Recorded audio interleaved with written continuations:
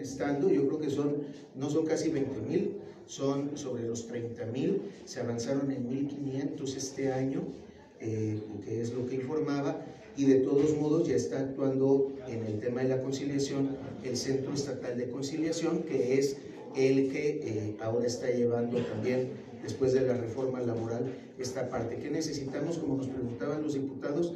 El aumentar. Sabemos que, tanto la Junta como el mismo centro, eh, pues nunca se tienen los recursos que se necesitan, que se requieren, pero intentar hacer más con los recursos que hoy tenemos. Eso es lo más importante. Hemos trabajado con los cinco órganos de los cuales eh, la Secretaría es cabeza de sector para que eh, esa productividad aumente. Quedan 18.500.